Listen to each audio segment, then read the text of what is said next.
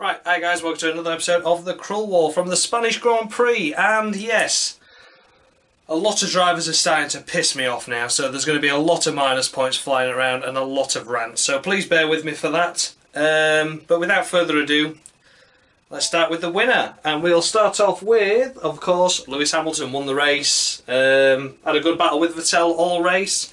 And strategy really played into Hamilton's hands um, especially with the virtual safety car where Ferrari pitted Vettel without virtual safety car, but Hamilton managed to sneak in while it was still there. So uh, gained a lot of time through that, and eventually overtook and won the race as a result of Vettel being on the medium tyres and um, Hamilton being on the softs. So it's a fairly clear cut race. It's a shame what happened at the end. Uh, Vettel was closing in. And Massa once again denied Vettel of any chances of uh, allowing him to catch up by being in the way again whilst being a back marker. Uh, it's a shame that that had to happen. It ruined a good potential closing up. You know, Vettel was down to two and a half seconds and then went back down to four and a half seconds. Um, so it was a shame that that had to happen and ruin a potentially great ending like what happened in Russia. Um, but, you know, you can't really fault anyone for that other than Massa. But, you know, we'll see. But yeah, so good, good race from Hamilton strategy played into his hands more than him because when he wasn't leading, it was whinging again. Um, so for the whinging, um, and he's going, "Oh, guys, what's happening?" Because I'm behind. But as soon as he's ahead and he wins, it's all him and not the team. Uh, you know, I find it very arrogant of him. But you know, he won the race, so I'm going to give him eight points. He doesn't deserve ten; he deserves eight. Vettel P2, like I said, um, you know, he, he strategy really was the main factor in the race as to why Hamilton won and Vettel lost. But you know, Vettel was closing the gap until the incident with Massa. Um, but you know, had he caught him, we'll never know now, and that's a shame. But you know, that's racing. Um, but yeah, it was a good race by Vettel. He took the lead uh, off the line on merit, and again, virtual safety car pit stop. He didn't have that advantage, so that's what cost him really. So Vettel a good race, did a solid job. Again, I think eight points. And the reason why I'm scoring these eight points is because this weekend there's been a far, you know, Vettel and Hamilton are finishing where they should really. You know, but we've had some really good battles and some really good races further down the order, and drivers have deserved, you know, they've deserved to, you know, they've, they've outperformed what the car should do, I should say. Um, so we'll see anyway. But like I said, that's why they're not getting full 10 points, is because drivers have had a better race this weekend. Uh, so P3 was Ricciardo, benefited hugely by the incident at the start with uh, Raikkonen and Verstappen being out at the first turn. Um, you know, without that, he'd have been fifth, you know, so fifth or sixth. But, you know, you can't really argue with that. That's just racing. Ricciardo, decent race, but just really lonely. I mean, they nearly got lapped, Red Bull. They were closing the pace um, to Ferrari and Mercedes these past couple of weekends, but this weekend they're back down to 1.5 seconds, I think it is off. So, you know, Ricciardo, yeah, you did all right, mate. You got a podium, seven points for you. Uh, right, here we go. These are what I've been saying about the superstars of this weekend. Ocon, uh, sorry, not Ocon. Ocon was P5, but Perez P4 for the Force Indias. What a race! That's every single race so far this season. It's been a double points finish for the Force Indias. Fourth and fifth this time, bagging 22 points for the drivers. I'm a big fan of Force India. I have been since they've come into the sport, and I'm well chuffed with the race this weekend for them. And I've been well chuffed with the season. Ocon's proving he deserves to be there. Perez has proven that he is a solid driver, as I've never doubted. You know, he's always been good and fourth and fifth for them. Absolutely super job. And they're going to get 15 points each. I don't care what anyone else thinks. They were solid, super, fantastic all weekend. They kept themselves out of trouble at the first turn and just solidly drove through from there, you know. So you can't argue with that. It's 15 points each. I don't care. That's it. Okay, moving on to P6, which was Nico Hulkenberg. Another great race. Again, same as the Force Indias. Benefited from the misfortunes of Verstappen and Raikkonen at first turn, and obviously Bottas with his engine failure later on in the race. But, you know, it has still been in the points, which is a good point, a good place for Renault. Uh, missed out on Q3 this time. I think he qualified about 12th, I think. Um, but, yeah, you know, a solid race nonetheless by Hulkenberg, and he's going to get nine points for that race. Very happy with that indeed. P6, good effort. Um, P7 was. P7 was Carlos Sainz. Yes, Carlos Sainz in P7. Again, a brilliant race by Sainz. Uh, didn't get past Wehrlein on merit. Yes, that's right. I did say Wehrlein. What an astounding race from him. But we'll come to him in a second. But yeah, uh, Carlos Sainz P7 uh, couldn't get past Wehrlein on merit. Got it with a five-second time penalty. Uh, but you know, was solidly in the points pretty much all race. So again, again, I'm going to say, of course, they benefited from the uh, misfortunes of the retirements. But you know, you've got to pick those up when they come. So Carlos Sainz, solid race, but I think a seven. We'll give you a seven again, just because you didn't get past Wehrlein, and Wehrlein is a a lot slower car. And then we come to Pascal Wehrlein. Now, I gave him a lot of criticism at the start. I gave him tons of criticism for not racing the first two races. Then I thought there might have been more to it in terms of money and things. But he's just blown me out of the water. I mean, he had a fairly crap race at Russia. Uh, Brad, Mr. Viper, scored him minus three for that. But um, yeah, a brilliant race. P8. He was P7 on the road, but P8 because of the five second time penalty. You know, it, I didn't see it, but apparently he crossed the uh, board, the what, the some sort of post that he shouldn't have crossed it uh, in the pit lane entry. So got five seconds for that. Uh, FIA did the best job they could of not allowing Sauber to score points, but they did anyway. Four points for Sauber, decent race, astonishing race by Wehrlein. Did a one-stop strategy. So you know Sauber, as much as Wehrlein did a great job this weekend, um, and for that reason they are going to get. I'm going to give Pascal Wehrlein 20 points. 20 points for Wehrlein because, you know, 10 points for him, 10 points for Sauber. Because that was a brilliant race. It came together hand in hand. Five second time penalty were unfortunate, did deserve seventh, but they didn't get it. Four points are still good though. Um, so P9 was Daniel Kvyat, I believe. His first, yes, Daniel Kvyat. So his first points in quite a while. He's been meandering around, but P9, you know, again outshone by uh, Sainz decent effort, but I give him five. I don't think Sainz, Kvyat did a good as good a job as Sainz, even though he did get a double points finish Toro Rosso. So I'm going to give him six points. Six points for Daniel Kvyat. I know I said a be cruel wall, they're getting crueler, don't worry.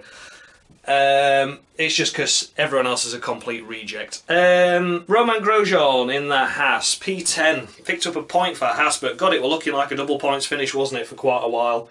Um, Grosjean, he didn't really do astoundingly well. He was always on the cusp of points and then was 11th for a while until the incident with uh, his teammate Magnussen and Kvyat pushed Magnussen down and that brought Grosjean into 10th. Um, but yeah, he picked up a point for Haas, but you know he's out. He's been outshone by slower cars this weekend, mainly uh, Wehrlein. So yeah, Grosjean did a good race, scored some points, but off pace in terms of his teammate Magnussen until that collision. Uh, so five points for Romain Grosjean. Next up, we have Marcus Ericsson. Another great race by Ericsson. It's it's clearly just it's easy just to forget about Ericsson just because Pascal Wehrlein scored 20 points. But Ericsson did have two pit stops. He didn't have the strategy that Ericsson uh, that his teammate Wehrlein had but he was still able to get that car in 11th and still finish ahead of some big names and some cars that should be a lot faster if it weren't for the fucking rejects of the drivers that got in them. So, did a, a brilliant move on Lance Stroll. Yes, a faster car. I don't give a shit what anyone says about, oh, Williams were off pace this weekend. Load of bollocks. They should be ahead of Sauber's, but they're not. And it's just ridiculous, just because they've got Lance Stroll there that doesn't deserve to be there. But I'm going off on topic anyway. So Marcus Ericsson, a solid race. Don't forget about him. P11. P11 in a, in a car that shouldn't be there, but it is. And it's a good effort by uh, Ericsson. So Ericsson can have 10 points. You know, great race by Ericsson. And he had the same strategy as most of the other cars on the field. He didn't use the uh, time deficit. You know, obviously the time that Wehrlein saved not having an extra pit stop. You know, so that's that's uh, a great race by Ericsson. So 10 points to him. P12 we have Fernando Alonso. He's finally finished a race, and could it be his last race in Formula One? I reckon it is. He's not going to bother coming back. If he has a good race in IndyCar and he finishes in top 10 on his debut in IndyCar, I reckon he's just going to stay out there. So I reckon Button will be uh, flagging for it a lot more. Um, but yeah, he finished his race at his own Grand Prix. He had a qualified P7, which let's just be honest, that's just like us flying to Mars in terms of probability of that ever happening. Um, so yeah, great race by him. Uh, got pushed off at the start by uh, Massa trying to take avoiding action from the first corner collision. Um, dropped down to about 16th at one point in the race. It was looking really crap the middle sector, middle sector of the race for him. I'm not sure why, uh, but ended up coming back to P12, uh, courtesy of some retirements and things like that, and overtaking, um, getting past Lance Stroll again. um, so yeah, Fernando Alonso, great race, and P12 decent effort, finished his own Grand Prix. He got a flag as well off one of Marshall's and went waving that around, so good effort by him. Um, Fernando Alonso, I'm going to give you eight points for that. Eight points. Decent effort.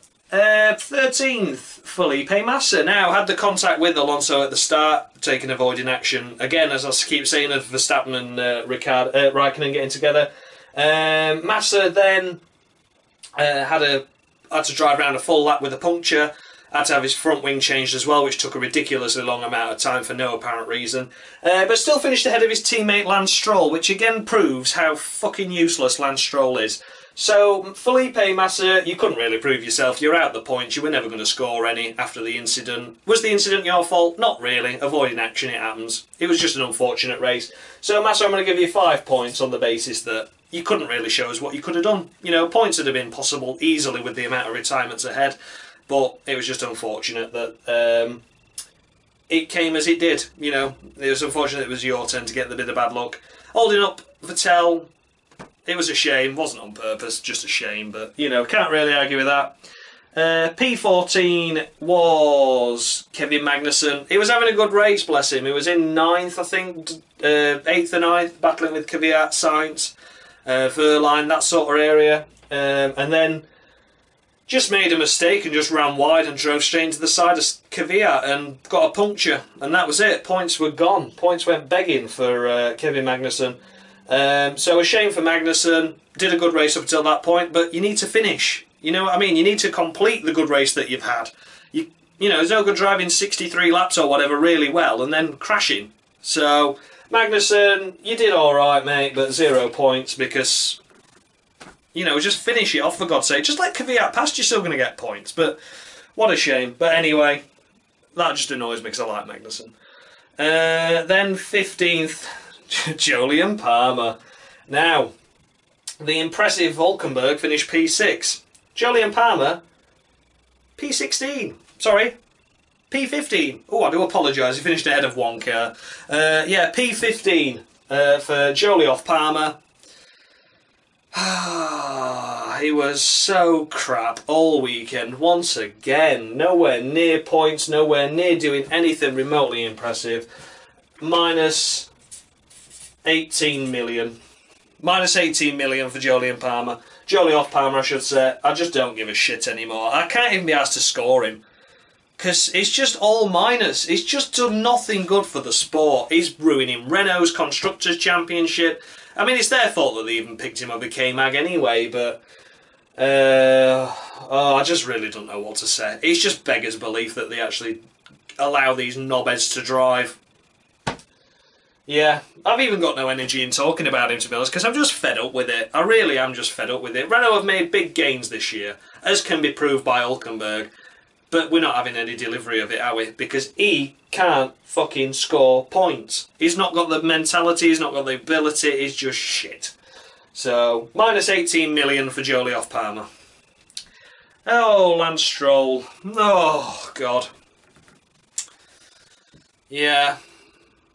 If, if someone can try and prove to me why uh, you think he's still good and still decent, Jamie Day. Sorry, bit of a frog in my throat there. Uh, but yeah, if anyone can else can still prove to me why you think he deserves to be in Formula One, I mean, even Martin Brundle and David Croft taking the piss out of him in commentary on Sky. So, um, yeah, finished 16th behind his teammate by two places, who had to do a complete lap with no with a puncture and no wing, and he's just like, what the friggin' hell are you doing there? For God's sake, Stroll. He just don't. He doesn't deserve it. He just doesn't deserve it. He's ruining really Williams, and it proves that if you know, same with Renault. If Hulkenberg has a bad race, they're not scoring points. If Williams has a bad race, you know, if Massa has a bad race, they're not scoring points either. And it's just proof of that. And it's just a diabolical nightmare. And there's no excuses as oh, he's never been to circuit before. Of course he's been there. He's been there a shitload of times. He went testing and crashing there at the start of the year in Formula One car. He's done F3 there. He's done all sorts there. So that's not an excuse. He's just crap. He's just absolutely crap. So Lance Stroll, you're going to get minus... Oh, what should we give you? Minus 15 million. 15 million. And just because I don't like you very much either, you can have minus 10 million for the next race. And I don't care. I don't care what you do in that race. Minus 10 million, mate, because no matter what you do, it won't be good enough and it won't satisfy me. So anyway, next one, Valtteri Bottas retired with a turbo problem, we believe. It was certainly power unit related. Uh, running third until that race, but an entire pit stop behind Hamilton. You know, not good enough really for, uh, for Bottas, so not good enough at all. You can have four points. You know, that's not that's before the retirement. You did crap before the retirement even happened. An entire pit stop behind your teammate. It's just not on. Uh, next up, Stoffel Vandoorne was doing alright. Looked like they were actually going to finish both uh, McLaren Hondas until he just decided to drive into the side of Massa. Yeah, just drove into the side of Massa. Uh, again, disappointing race yeah, I just don't know what to say. Again, Vandoorne are expecting more. Uh, I mean, at least McLaren are actually racing with cars now to actually retire as a result of contact rather than engine blow-ups, but it's only positive you can take out of it, really. Well, we were racing, lads, at least. Oh, good. Good stuff. Yeah, really chuffed. Um, so, Vandoorne, yeah. Minus 10. Minus 10 for Vandoorne. You'll get more minus points if you carry on being shit. Only driver still not to get out of Q1 now and Alonso was seventh. So, you know, there's some sort of talent there as well now. I'm starting to see that it's probably going to be Vandoorne is possibly like a Palmer and a Stroll. But we'll wait and see. We'll wait and see. Uh, Max Verstappen, yeah, first corner incident. It wasn't his fault. He was collected by Raikkonen. It was tagged by Bottas. So, it's five points for Max. And I was going to give Kimi five points because you can't prove um, you can't obviously prove how well uh, Kimi could have done in the race. Again, he was tagged by Bottas, wasn't his fault.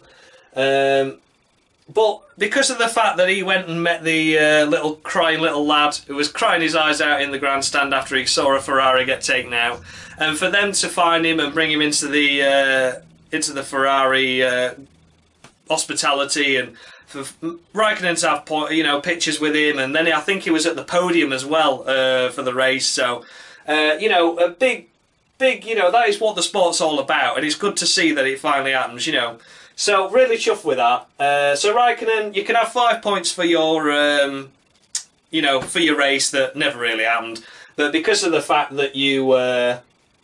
You did some good. You give that. You made that little lad's day from crying his eyes out. So Great stuff, Raikkonen. You can have five bonus points for that. So you can have ten points. It proves that he's human. I know people give him some sticks sometimes for being very monotone and being very flat and, you know, not really being in touch with anything. But, you know, that showed that he's a great sport. So Kimi Raikkonen, ten points for that. You're a good lad. Uh, Giovinazzi didn't race, so no points for him, obviously. Uh, and that wraps up the cruel wall. Um, so, yeah, I hope you enjoyed it. I certainly enjoyed the race. It was a shame that the race ended eight laps before the end because Vettel was catching. But until that, you know, that was a good race. Maybe one of the best of the year, possibly. I did enjoy it. There was action everywhere. There was some good drivers getting some good points. You know, solid, solid racing um, by some really guys that deserve a good result. You know, Sauber deserved a good result this weekend. Uh, Force India, 22 points for them is amazing. Um, you know, double points finish for Toro Rosso as well. It's just been a good weekend all in all. So, yeah, thanks a lot for watching, guys. And, uh, yeah, I shall see you for Monaco, where I shall be joined by my friend Mr. Jow, Adam Jow, who you'll have seen on the Prague vlog video. So he'll be joining us at Monaco. So I hope you look forward to that. And until then, I shall see you next time. Much love.